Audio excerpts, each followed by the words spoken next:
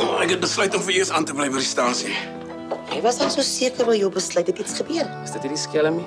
Foto van haar social media toe hulle gedate het. En ek wil kyk hier na. Amore will be fine. She just has to tell the truth. Trust me, they don't have a case against her. Kom is sy hier?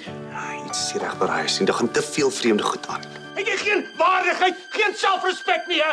Vir wat wil jy by 'n man bly wat jou nie eens wil hê nie?